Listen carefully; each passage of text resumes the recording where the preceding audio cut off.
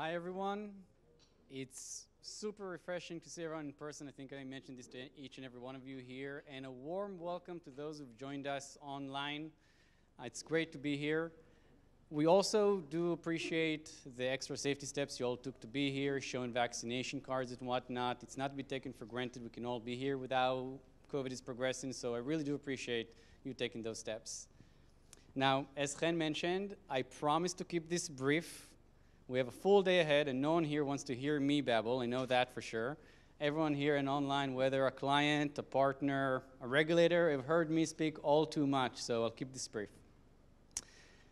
In 2019, when Solidus founded DACOM, there was no dedicated forum to address the crypto native risk and unique compliance challenges digital assets posed.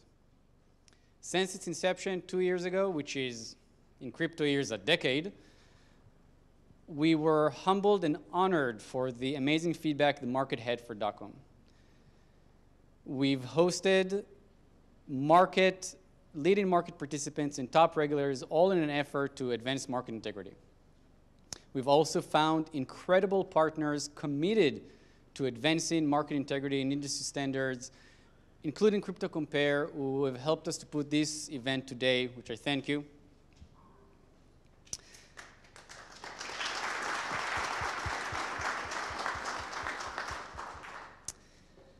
And lastly, and what we always keep in mind at Solidus is that crypto and DeFi's promise of better financial opportunities depends on us.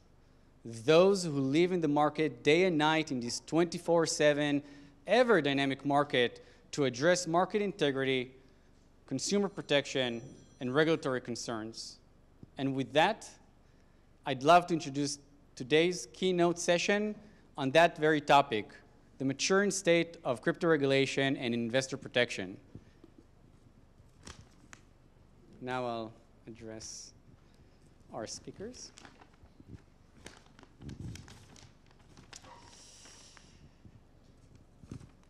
I'll ask Jay Clayton to come to the stage.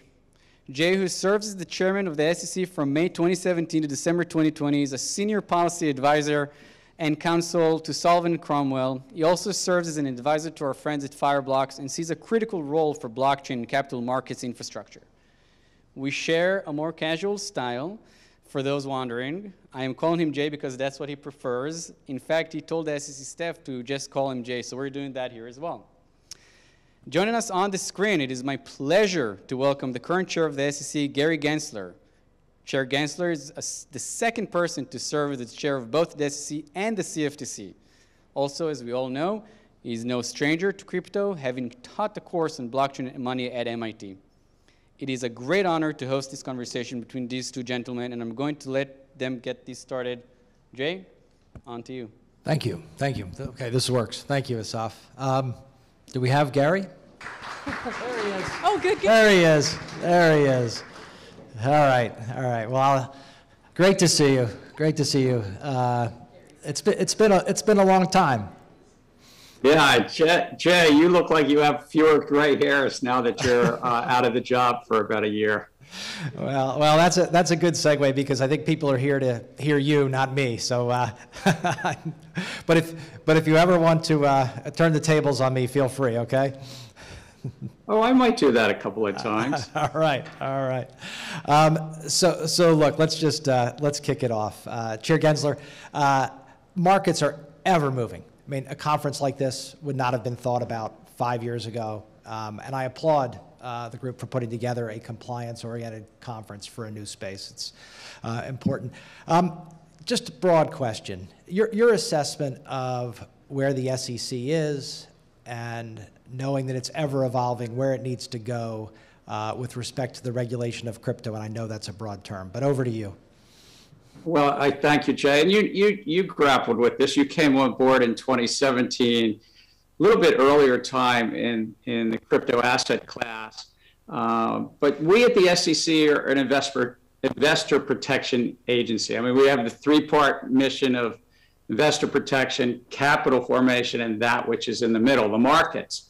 But at our core, everyone that's had the honor to be chair of this agency know it's about investors. And I think where we are right now is we don't have sufficient investor protection in this space, this $2.6 trillion asset class, worldwide asset class. Uh, you grappled with it. Uh, we're grappling with it now. And I think that uh, uh, new technologies do not long persist if they stay outside of the public policy framework. And this is an investment asset class, and it needs investor protection, or people will be hurt, and trust will be undermined. And uh, so, for those in the audience that are thinking, uh, why, why has this got something to do with me? I think if you're a proponent of any of these projects or this space, uh, without uh, trust, the public uh, is not going to stay with this class uh, in the sufficient numbers that you would want long term. Yeah, well, look, I think uh, you know that I agree that investor protection is uh, the touchstone. and thinking about the long-term interests of our investors is, is the lens through which the staff at the SEC looks at everything. So, um, but let's, let's, let's talk about where we see this going, because uh, let, let, me say this. Uh, I'm, I'm now an advisor to uh, a couple of firms in this space, and I'm sure that other firms that I advise are in this space, so let, let me get that on the table. I, I see promise for this technology, um, great promise in, in efficiencies, um, but I also see, like you do, that only happening in an environment of trust. If you look down the road, where do you see the opportunities for crypto technology, digitally represented assets, uh, and the like? Look, we already uh, one. I'm I'm going to I'm going to stay technology neutral. That's my job. Uh, I'm not public policy neutral. I think that investor protection, capital formation, and that in the middle of the efficient uh, markets. Uh, um, um, um, took an oath of office to to really make sure we achieve those. But I think that the technology itself what Satoshi Nakamoto, whoever she or he was, sort of has been a catalyst for change. It's it's uh, around the globe. Uh, those in the payment business, central banks and private sector have started to think about payment systems a little bit different. There's there's some competition, so to speak, from decentralized bearer forms of value transfer. Now, some people will call it currency, but uh, none of these projects have really taken on a full general uh, embodiment of a medium of exchange, unit of account, and store of value. They've primarily been speculative stores of value and ways, as, as you so rightly said in 2018, and I think as recently as 2021 in a Forbes article, I, I don't, I don't think you mind if I would quote you back to you, Jay, um, uh, that that these have largely been, I think you were even more uh, aggressive than that, but largely been about raising money for entrepreneurs. And, and as such, uh, meet the time tested um, definitions of an investment contract and are thus under the securities laws. Yeah, and, and any other uh, of the array of definitions of a security in addition to an investment contract. Uh, and, and you've done a great job of articulating the principles behind that, which is the asymmetry of information between the project leaders and, and the public from which you're seeking funding. It's a fundamental principle that we have. And quoting back to you now, uh, uh, Chair Gensler, the, you've used the term Wild West, um, which uh, I took, and let me, let me say how I took it and then, and then get your reaction, was you were comparing this to a, a time when private currencies were, were proliferating, um, unregulated, unstable. And I tie that to the financial crisis um, and instability in uh, money market mutual funds and products where people looked at it as um, a safe store of value. Is that the right perspective to interpret your comments? Well, I, I, I my wife was an artist, and she always said that uh, uh, let others interpret what you say or what you do. um, but so that would be one interpretation. We did have a period in the 19th century in the U.S. with multiple forms of tradable value paper, currency, if you wish. It was banknotes. It was the wildcat banking era. uh, after uh, Andrew Jackson had his little fight with the second bank of the U.S. Um, but I would say it's more than that. I would say it's more than that. There's just there's a lot of projects uh, that have gone live, entrepreneurs raising money in in in the crypto markets, and they're turning to gatekeepers, uh, lawyers to try to paper over, saying how do we how do we sort of avoid the authorities. And I don't think that's the right approach, but that's similar to the Wild West. How do we avoid the authorities? And, and I think so there's an analogy there as well. And I, I speak to the gatekeepers a little bit, the lawyers, the accountants, the advisors, and say, think about the spirit of our laws and think about how we protect the public against fraud and manipulation. And that's why Congress painted with a broad brush. There's over 30 definitions, 30 pieces of the definition of security. And Jay Clayton was right. It's not just investment contract. There are many other pieces of it. And I, I'm not here to prejudge any facts and circumstances of individual tokens, but to the gatekeepers, bring your projects into the SEC, talk to us, whether it's a trading platform or a token and uh, find a path to registering and getting within the investor protection remit. Well, that, that sort of warms me up for the next question on my list, which is a lot of investing in um, crypto assets, digital assets, is retail. How do you see institutional investing evolving in this space? You know, I don't know how it's going to evolve, but I think it, it it's not going to evolve well outside of uh, the tenets of public policy. And I'm, I'm speaking about investor protection, but it's also guarding against illicit activity, what's called anti-money laundering and, and uh, sanctions and the like, tax compliance. It's also guarding for financial stability. And I think that institutional investors uh, want to see more uh, uh, uh progress made also on custody, because at the heart of this technology, if you steal the private key, the, the, the, the, the cryptographic key, you steal, steal value. And so there's a bunch of places uh, to make progress. Number one is what's the value proposition of any of this? That's for the markets to decide. That's not for the official sector. But for the number two is ensuring that it's within public policy frameworks. Okay, so with that, a little, let's unpack that a little bit. Pe people refer to CeFi and DeFi. I, I, like to think about it as a number of central nodes in a in a uh, in a system, uh, a clearinghouse, for example, an exchange, um, an issuer, and the like. And people talk about DeFi as eliminating uh, some of those nodes. Um, assume, uh, as, as I do for most people, that, that people have the best intentions. How, how do we look at regulating a system where we're moving from CeFi, where we, we regulate the nodes, it's very efficient to regulate at those nodes, to a more decentralized uh, system? I see that as a challenge. If I can ask you, you say best intentions. You, talk about that some people would have incentives to avoid the anti-money laundering laws or incentives to avoid. I mean, because you know, Bitcoin's being used for ransomware around the globe. Is I mean, there's like incentives here uh, to use a bearer form of value transfer. And that, that's what a lot of this is. It's a bearer form of value transfer. We already have digital money. Yeah. We but, use it every day of the week. We use digital money. Um, so what do you mean when you say you view. You yeah, let me try and make this easy. Let me try and make this easy. Um, bearer instruments, we've dealt with for the last 50 years. We don't tolerate bearer instruments.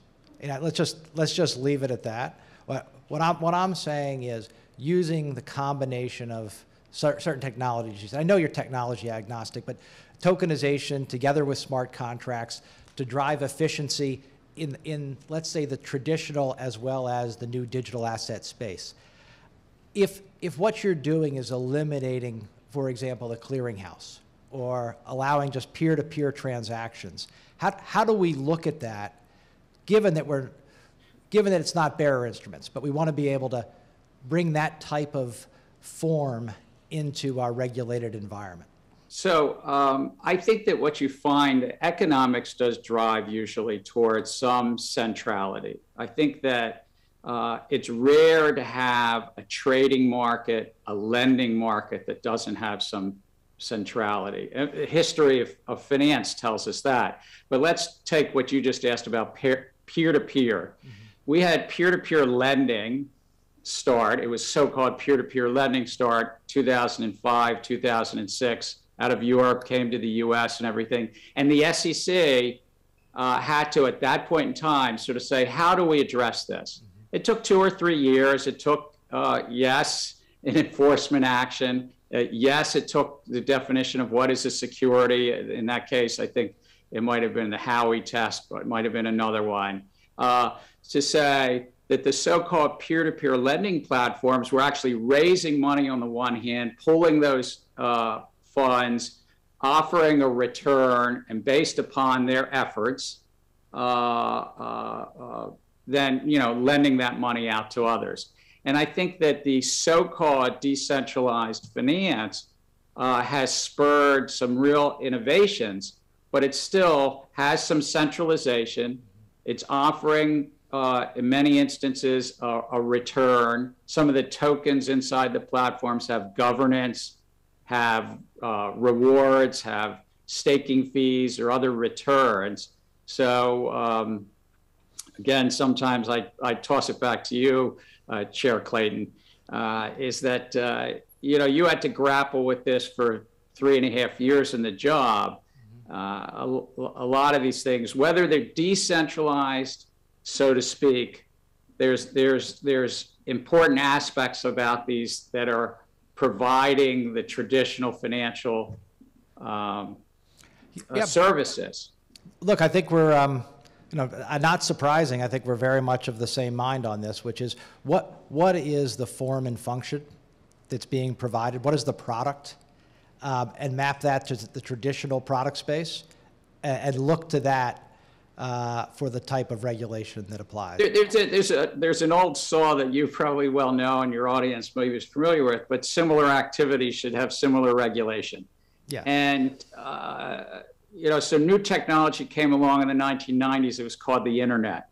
And then our predecessor, Arthur Levitt, who was a fabulous chair of the agency, I think uh, we could have some bipartisan agreement on Arthur being a fabulous chair. And uh, uh, did we get bipartisan agreement on that? Yes. Okay, all right. Like, you know, but Arthur's commission, I mean, it was many commissioners, had to grapple with what do we do when the internet comes along? Do similar activities still get similar uh, protections, investor protection and like? So if we call something centralized finance and it's a platform. The, the big trading and lending platforms have commingled activity. They have custody function, they have trading function, they have order routing function. They, they match buyers and sellers. Mm-hmm. So, shouldn't we have the same protections of custody, of order routing, of anti manipulation, guarding against wash sales, having the transparency in those markets? For the retail public and the institutional public you mentioned to benefit from uh, those kind of common sense rules of the road that in our case were adopted by Congress in 1934 to clean up the stock market of the 1920s. Look, I think your um, analogy to the digitization of trading or the electronification of trading, however you want to call it, um, through the 90s into the early 2000s is a very good one. Because I think the message that Chair Levitt brought to the space was prove that the regulatory functionality is at least as good as the old method, and then feel free to capture the returns that come from uh, innovation and better technology. But, you, but start with the baseline that you have to do the regulated side of this at least as well.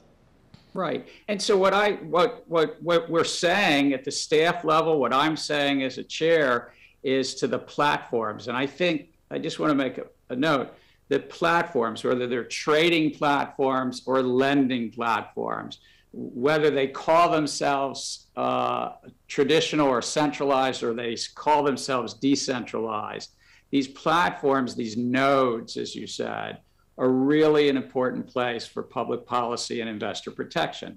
And, and, and so what we're saying is come in, work with us. If you think there's some reason that you can't quite uh, register as a full exchange, like, uh, are you across the street from uh, the stock exchange there? I'm looking out that window. It looks like Grand Central Terminal, but uh, Grand Central. Okay, you're not downtown. it's a different kind of exchange. different type of exchange. But if you if you know then work with us if the transfer agent rules or the or or like don't quite work, but you know you've got order routing, you've got you've got to think through the anti-manipulation and how we guard against manipulation in these markets. You've got transparency both pre-trade and post-trade. Um, these are hybrids. Does it make sense that they're hybrids, or would it make better sense to sort of disaggregate and pull the custody piece out of the exchange piece. And so work with us and, and, and sort through. Um, again, uh, where appropriate, we're going to use uh, uh, the enforcement tool. It's something that I think that while you were chair was used five or six dozen times, uh, where you you thought the facts and the and the law uh, were appropriate. Um, and we're going to continue that as well. But I think a better path for these platforms, these exchanges and lending platforms, is to work to get registered within the law. Yep, yep. So let's um, let's turn to uh, ETFs, if you don't mind, and, and limit this to uh, Bitcoin ETFs. And I understand all the constraints that you're under on this, but the but the commission has approved a futures-based uh, Bitcoin ETF.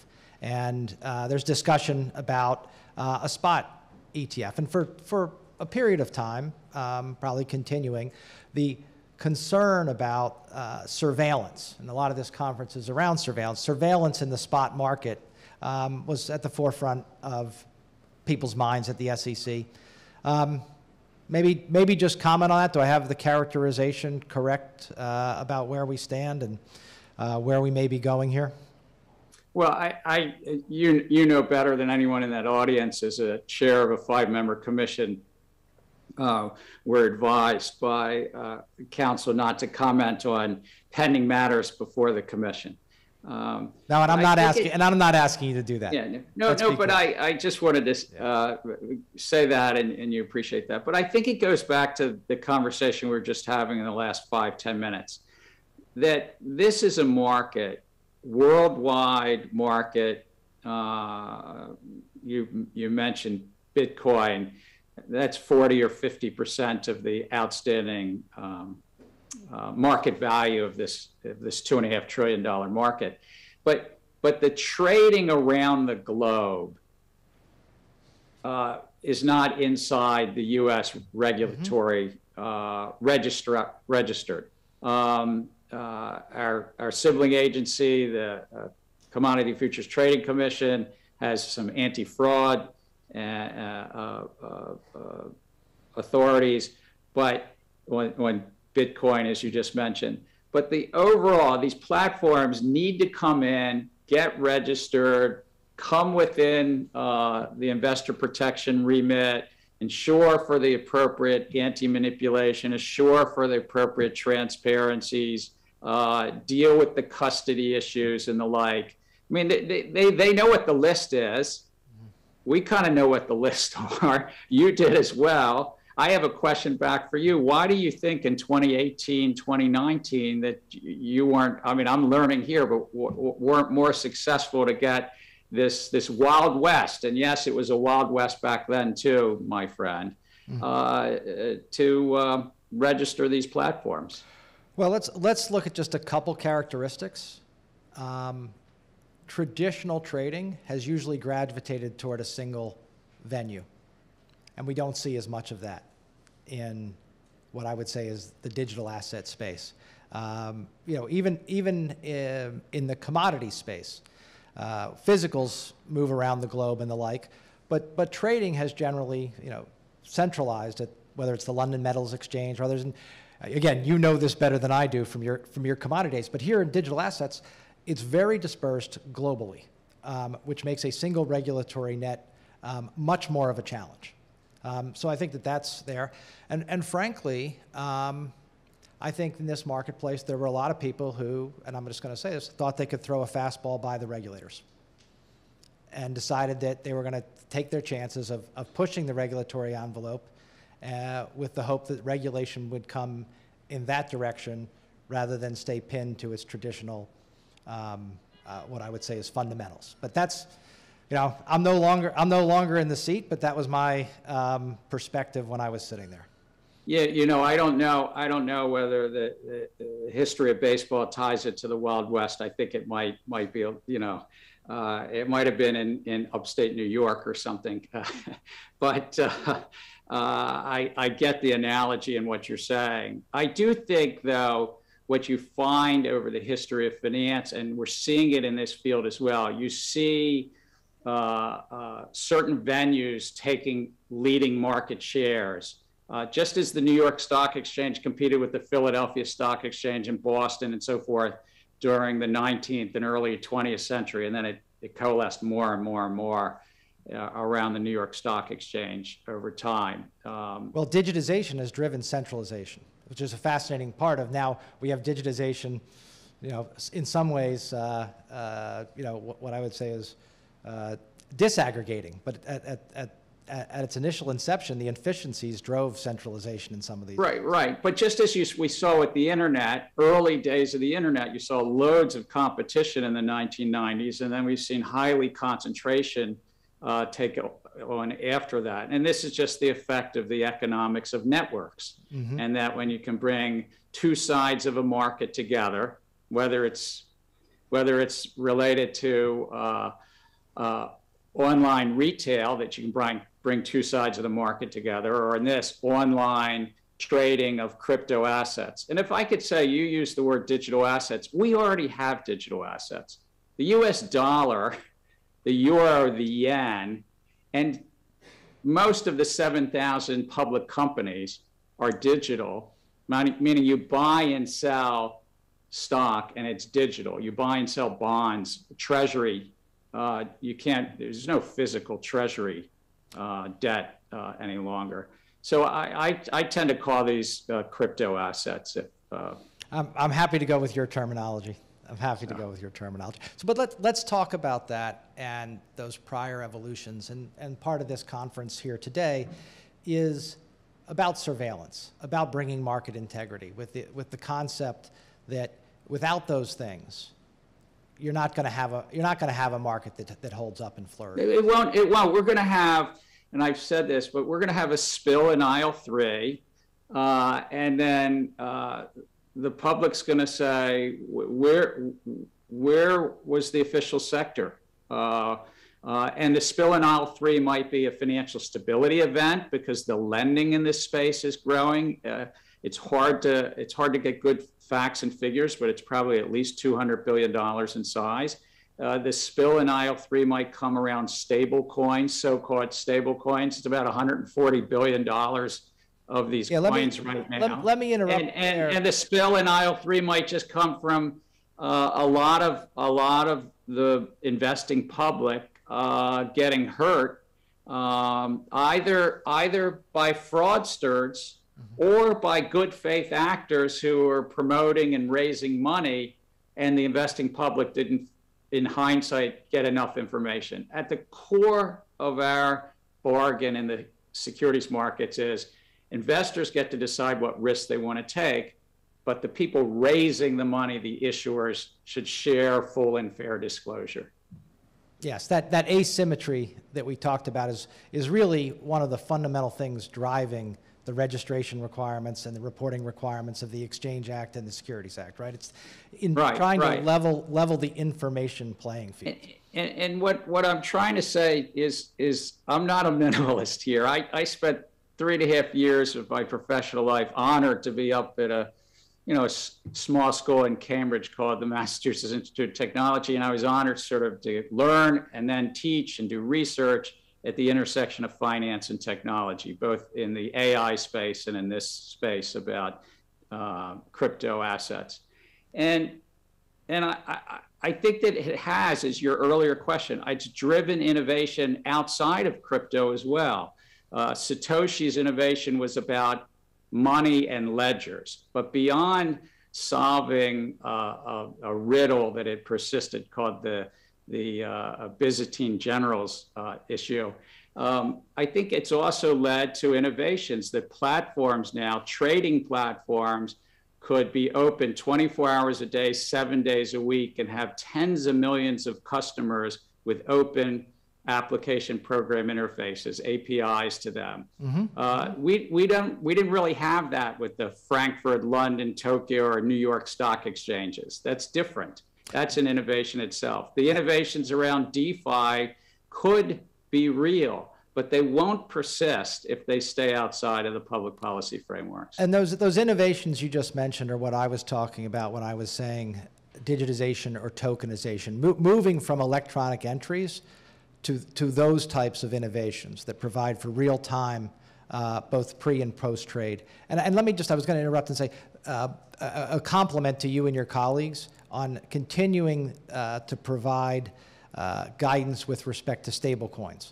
Um, and if, if stablecoins are going to provide that kind of functionality, not a, not a stablecoin that is really a money market mutual fund, but a stablecoin that is providing functionality as a, as a stable store of value. Um, uh, how, how is that going to go forward? I, I think that uh, you are getting together with the presidential working group and continuing to try and provide guidance in that area. Look, we're, we are working with our colleagues at Treasury and the banking agencies and the Federal Reserve and the CFTC, and, may, and maybe hopefully with Congress as well. I think that today, this roughly $140 billion has largely been used inside the platforms. They've been they've been the the uh, sort of poker chip at the casinos, uh, and why I say that is because they they were initially brought forward 2013 2014 to make the trading platforms more efficient you could do something 24 hours a day, seven days a week, moving value within the platforms with a crypto token versus another crypto token. And that made it more efficient within that ecosystem, within that. But it also uh, allowed people around the globe, the people that tried to, to avert anti money laundering and tax compliance in jurisdiction after jurisdiction. And so it, today, these stable coins are about 80%. Let me repeat it 80% of the trading in the crypto markets, probably even more of the lending is lending of a stable coin versus you know bitcoin or something and that is that's the nature of what we have and so I think that we should recognize that. And, and again, the platforms come in and get registered, work with us, see what, what uh, we need to do to, you know, fit some rules that were written in a bricks and mortar era, how we adjust them, uh, uh, but bring it in. And on stable coins, I think that as we said in this joint report with other agencies, it's really important, uh, I think, as a principle, that they're backed one to one, that they mm-hmm. really have the backing, that that's fully transparent to the to the various appropriate regulators. Uh, if it's if it's like a bank account, then of course, you know, uh, other regulators take uh, uh, leadership.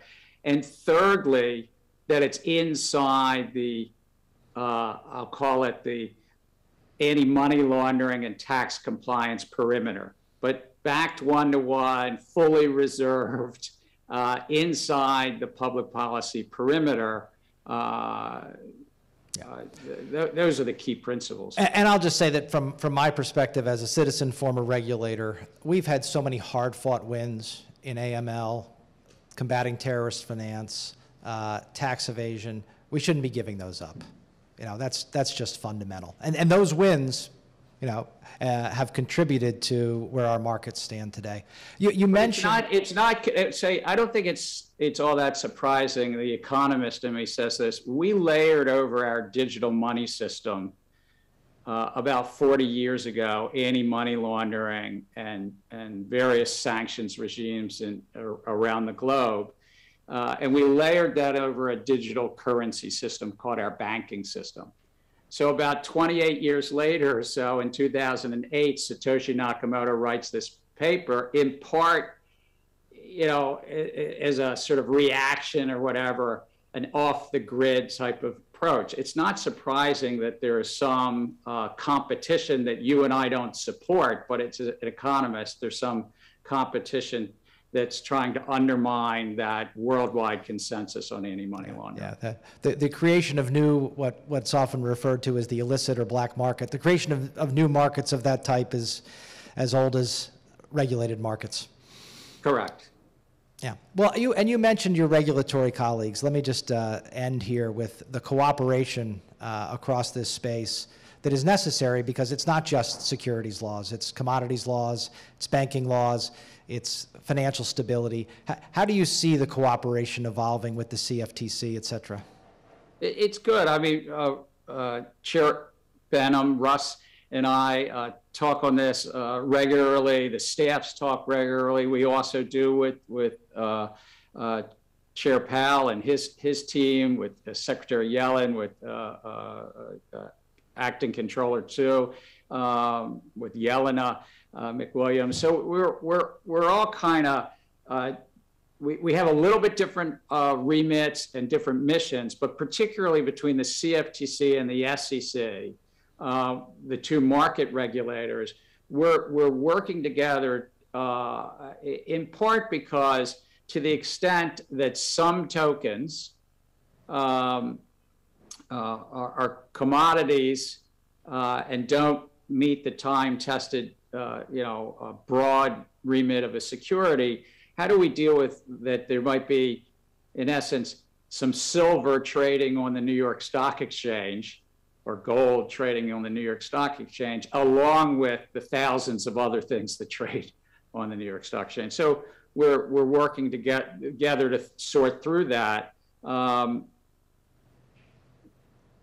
but not right now the public is not protected as it as it could be and as I believe uh, it ought to be uh, in this space. And I think for those of you in the audience that are thinking um, about the the longer term future of this this asset class and these projects, because it's not just the asset class, it's the projects, it's the technology.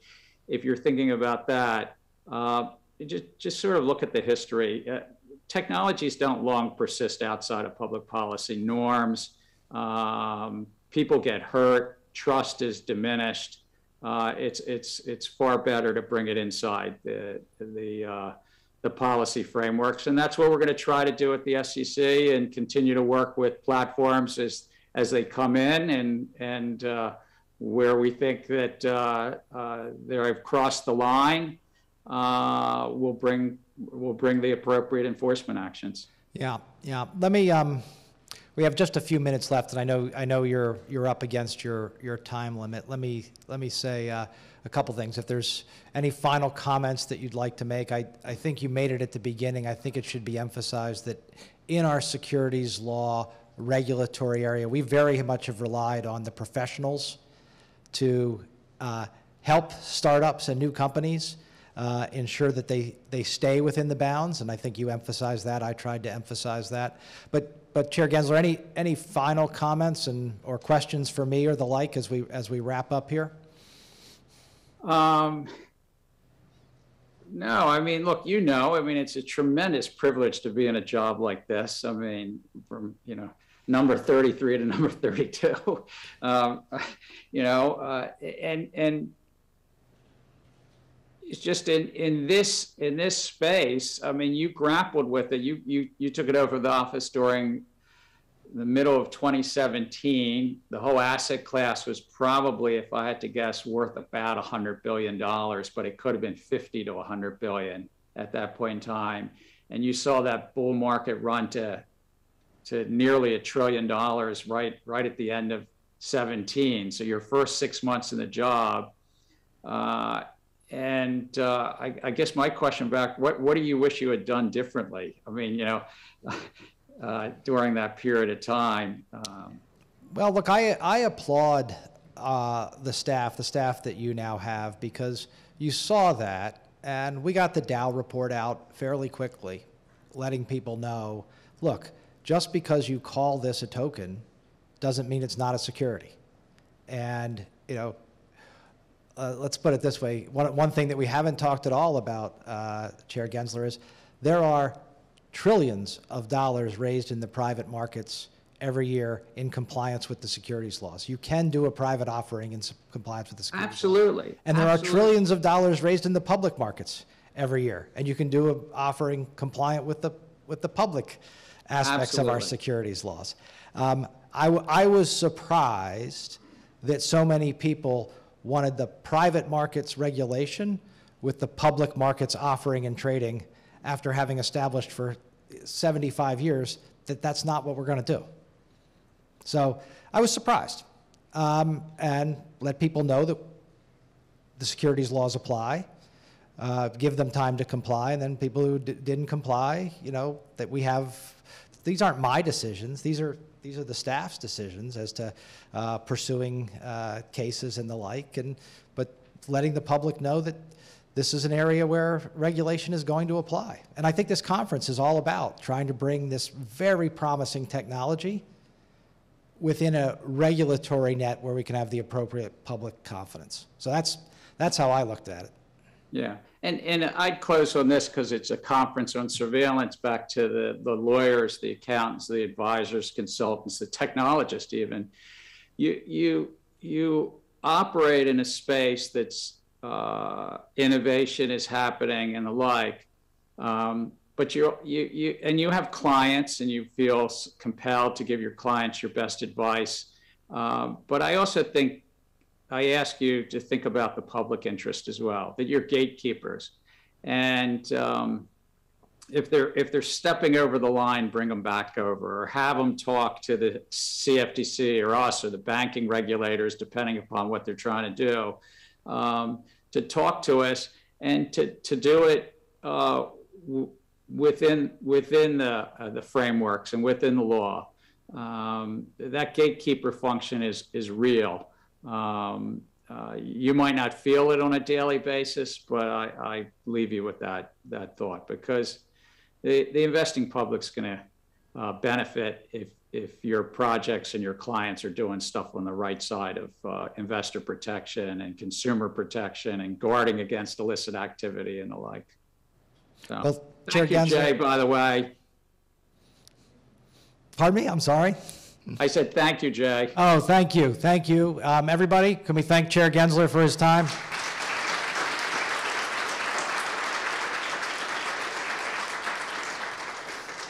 Gr- Great to see you. Next time it won't be a year. All right, thank you.